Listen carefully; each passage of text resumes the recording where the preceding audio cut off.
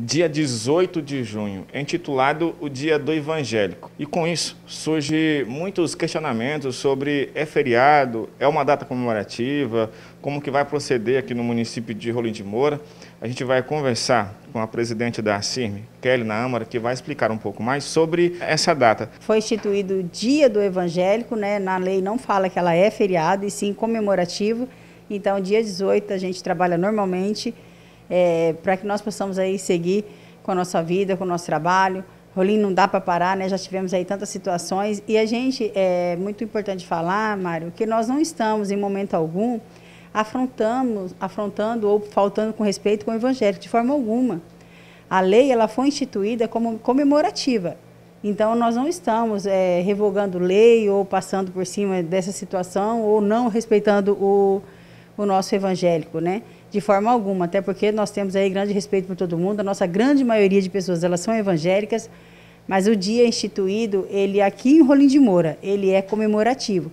No Estado, a nível de Estado, foi considerado inconstitucional, e até gostaria de falar sobre isso, que a inconstitucionalidade não é pelo dia do evangélico, é porque o Estado, ele criou um feriado que ele não poderia criar. Por que ele não poderia criar? Porque o Estado ele pode criar quatro feriados. E os quatro feriados já haviam sido criados, e ele era o quinto. Então, por isso ele foi declarado inconstitucional. E não porque o dia do evangélico não é constitucional, não é isso. Então, vale, a gente tem que explicar para que não haja é, sentimento de ofensa, sentimento de, de chateação nas pessoas, porque é um dia comemorado como o dia da mulher, como o dia dos pais, é o dia do evangélico também. Essa, é, aqui no município, em que ano que foi criado, na verdade, esse, essa data, dia do evangélico? Em 2013, foi o ano que foi criado, era na gestão ainda do prefeito César Cassol.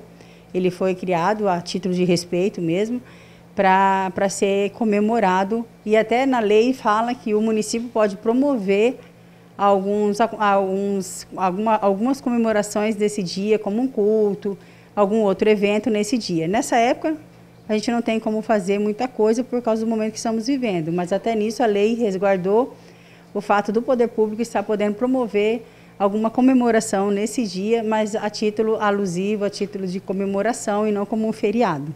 As igrejas que quiserem realizar os seus cultos, está liberado normal? Tranquilamente, né? E até as pessoas que queiram fechar também seus comércios, eles podem fechar.